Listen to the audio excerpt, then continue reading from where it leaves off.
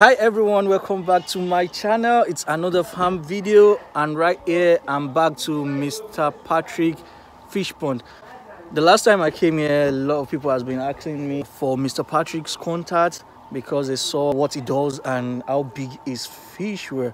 So i gave loads of people his contact so they spoke and it was really nice.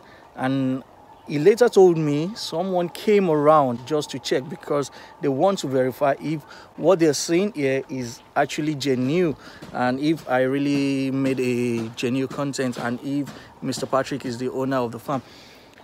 So they came, they find out, they saw everything for themselves. So I'm here again today after a lot of months of being here. I've been busy, that's why I've not been here. So I'm here today and I'm going to show you his factory i'm gonna go into his factory i'm gonna show you his factory and he's gonna walk me through his factory as well and the fish are here as well. So he's making a sale very soon this evening and i'm gonna be here to see the products of his fish.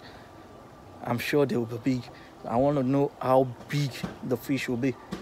Anyway let me take you around and if you have any question comment down below. If you need his contacts uh, dm me on IG. Please DM me on IG. My IG uh, name is always in the description box. Please and please. So don't ask over and over and over and over again for contact or number or my IG.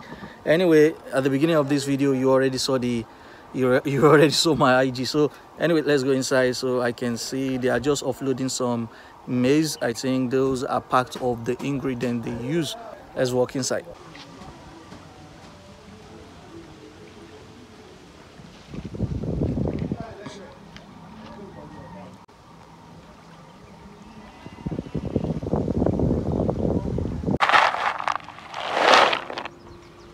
So guys this is the local feed. This is what they feed the fish. I guess chicken eats it as well as well as goats because there was a goat disturbing the feed here. So they they brought it here. After manufacturing it they bring it outside to dry it.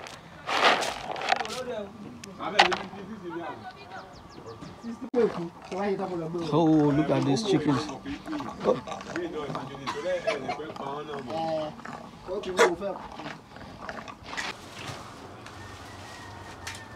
Kí lórúkọ àwọn náà mo ti gbàgbé patanel àtàrẹ standard ẹ má ti gbèlè wa. kan jáde ó máa ti ṣe dúró ní ẹgbẹ́ mi wà ní mọ́tò máa ṣiṣẹ́ dúró. a sì lè gbé létà. ẹran yẹn lè jìnnà gan. sọ fún ọ pé system eléyìí. meet mr patrick i'm sure you guys have seen him before. Good day everybody. This is patrick from Psenass agric enterprises in ogun state abeokuta nigeria. So let's take a walk to your production room to see how you you know just take us around and just say something about how you manufacture all these catfish food these are the part of the materials that we use for the production of the food. and these are maize right yes yes. wow these are a lot of maize so it's like you are making in large quantity sixty-five. with the help of god yeah. That's, yeah that's wonderful Here is our feed mill. We have three industrial machines here. Let's go and start from the pulverizer. okay okay this is the inventory the store Yes, okay so everything is kept here yes. This is where we keep part of our materials. This one are kept here. all right uh, Yeah. So let's start from this. This machine is called pulverizer machine. per what Pulverizer okay machine. What we use it for is to grind our materials into powder. It depends on how powder you want your materials or the wow. level of the fishes you want to produce feed for.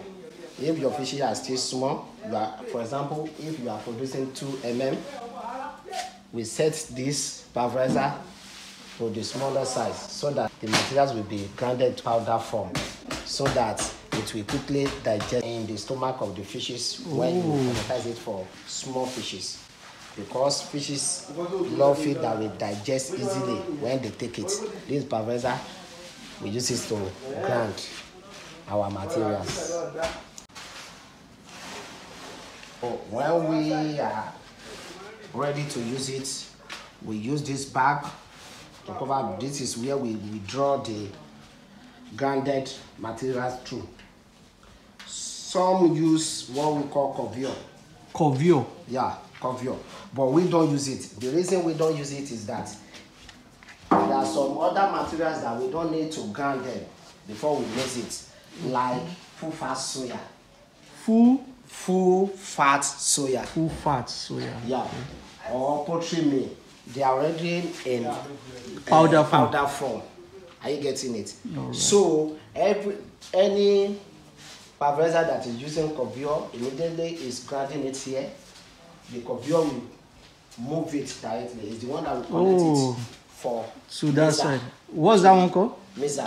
Mix mixer. Yeah, this is a mixer. So the covio is the one that will collect the grounded materials to mixer. But we don't use covio because there are some materials here that they are in powder form that we need to include into our film. So for that reason, we collect our grounded materials with this sack. We now move it to the mixer where we mix everything and add every other ingredient we want to add. We now add it to it.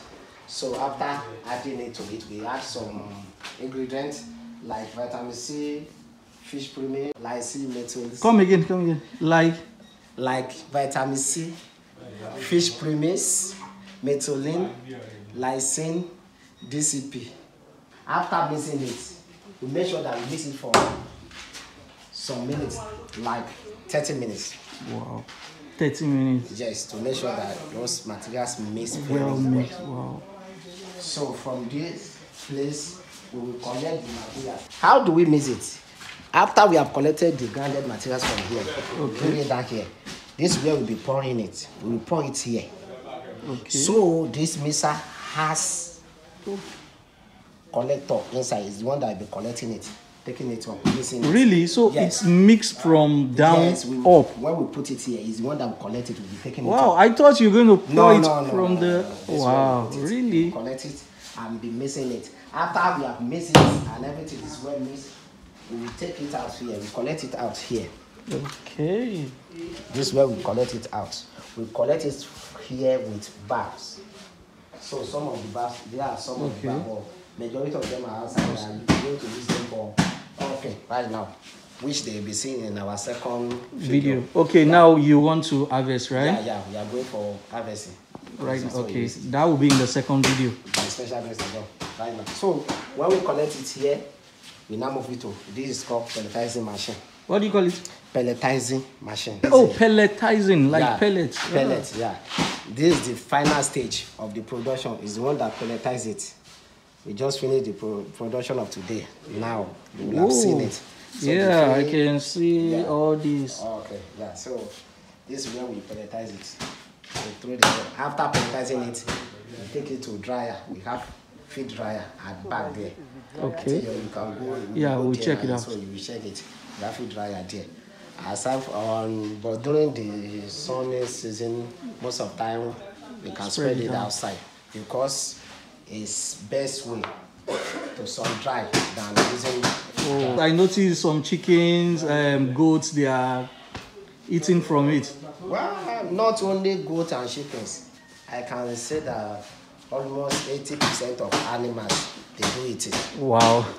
Dogs, they eat it. Really? Yes, dog, they Eat eat, it. it. Wow. Lizard, they eat it. So chicken, the eh, majority of domestic animals that I've seen, that I've come across, they do eat it. So what I what I mean is that 80% of animals, let me even say that all domestic animals, they do eat And the they enjoy it. They enjoy it. I noticed the dogs and the chicken are very big. they are very big and fresh. When Because you of this? them, yes. When you see the goats Around dogs this area. that are living around here, they are different from others, and they are something they are very sensitive to our machines. Once they hear that we have start generator for production, They are coming. we see them coming from different Wow. because they know that food They're- free food. Yes, free come- free pizza. Yeah, so they come for it. Even birds, they do come. So that's how we operate it. So it's not like you are just feeding only your ca- uh, your catfish. You are feeding No, all the domestic, domestic animals for free. They also they enjoy from it too. Okay, But you, you you pursue them. yes, we chase them anytime. away, but they still disturb. During the rain season, or if with some people, if they want the production immediately, we use dryer. dryer. We have drying Oh, machine back there. We use to dry it for them and they pack their So fish wh- immediately. What is the difference between this um, local one and the foreign feed? Well, the difference are not that much. The only major difference is that the foreign feed, we call it floating feed. There's nothing special about calling it foreign feed. Feed is feed. The only difference is that they float. And the reason for the floating is that it's because of the machine they use to produce it. The machine is called extruder. What? Extruder. Extruder. Extruder. It extrude the feed. That is extruding machine. We call it extruding machine. But this one doesn't extrude the feed. Okay.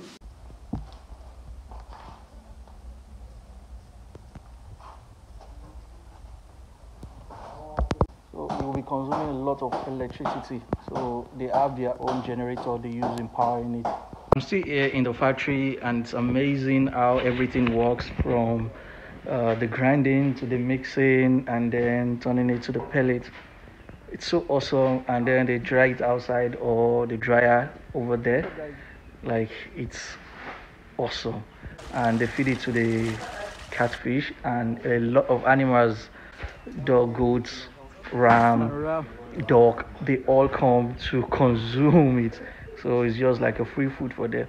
So I saw a few over there in which they were just chasing them away and they're still coming back.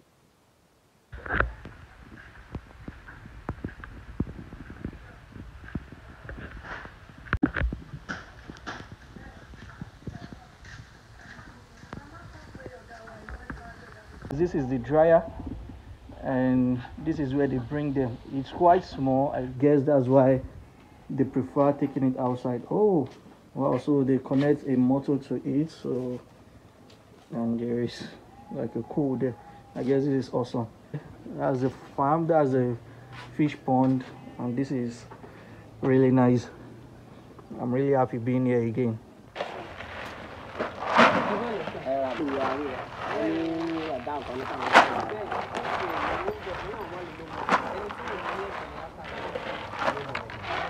Mọ̀tòmọ̀rẹ̀ lọ́ọ́ ti ra àjà lọ́ọ́ ti ń ta ìlú. Àtàlọ́ ẹ̀kọ́ mi náà tó ń tọ́ta ní màá lọ rà. Bàtà ọdún yìí sọlé àwọn fẹ́ wá gbé